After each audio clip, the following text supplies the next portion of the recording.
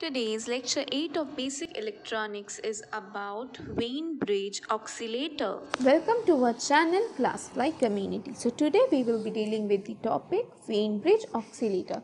So you still remember this word oscillator? What does it mean? It means that it will convert your DC to AC. Right. Will convert DC to AC. As well as it is an electrical device which will that means the gener- generating periodic waveform will be at the output without any external input. Okay.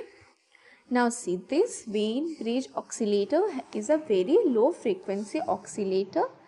That means its frequency will be very low and its range will be between some few kilohertz to 1 megahertz.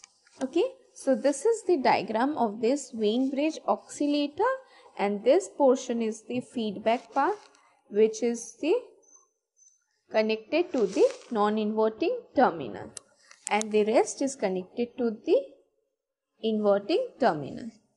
A inverting terminal means your minus and non-inverting means your plus. Okay, so we will read one by one line and we will discuss it with the diagram. Okay. So see, it says that the working of the Wien bridge oscillator. So, the feedback signal in this oscillator, the feedback signal in this oscillator circuit is connected to the non-inverting input terminal so that the op-amp works uh, as a non-inverting amplifier. So, let's see the diagram. So, this as I told, this is a feedback so it is connected to the non-inverting part. This will state that this uh, whole oscillator or this op-amp will work in the non-inverting portion. Okay. The first statement states this. The condition of zero phase shift around the circuit is achieved by balancing the bridge. Zero phase shift is essential for sustained oscillation. Now what does this statement mean? See, it says that it will be condition of zero phase shift around the circuit will be achieved by balancing the bridge at this zero phase shift essential for sustained oscillation. So this is your bridge that means the feedback part right. So here this parallel will be low low part and this one will be your high part and if it gives you a thermal noise that means there will be multiple frequency but it will take one frequency. As this uh, parallel one RC will be dealing with the low and the series one will be dealing with the high. So it will neither take the high frequency or the low frequency but it will take the intermediate one. So it will take one of the frequency. So that means we can balance this by the zero phase shift and we can attain a sustained oscillation. The frequency of the oscillation is the resonant frequency of the balanced bridge and is given by the F expression F0 is equal to 1 by 2 pi RC. Okay, so see, uh, basically it says that the resonant the frequency of this oscillation is the resonant frequency of the balanced bridge. That means this bridge's bridge's balanced resonant frequency is the frequency of oscillation. So basically we say that the F0 F0 is equal to 1 by 2 pi root under R, RC. Okay, both this parallel RC as well as the series RC both we will be taking as RC. Okay. That means both R1 and R2 will be equal to R and both C1 and C2 will be equal to R. Okay. So as I told that the F0 will be what? Is equal to 1 by 2 pi root under RC. See, it is R1 plus R2 and C1 plus C2. Okay, so that means R1 is for the series one and R2 is for the parallel one. Okay, when we take both of this as R, so RR and the C1 and C2 as CC. So whenever we take this out from this root, we will get what? We will get RC. That's why it's being stated that F0 is equal to 1 by 2 pi RC. Okay, so you just need to remember that this frequency of oscillation is 1 by 2 pi RC. Okay, so we are done with the three point. So uh, the fourth point it states that at resonant frequency F0, the inverting and the non-inverting input voltages will be equal and in phase so that the negative feedback signal will be cancelled out by the positive feedback signal causing this circuit to oscillate.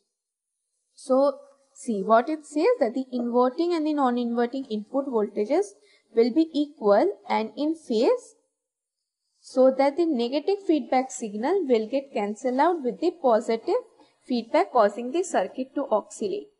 So this is a bridge. So what does happen? This inverting and the non-inverting terminal will be in will be equal. That means this both will be equal. What does it do?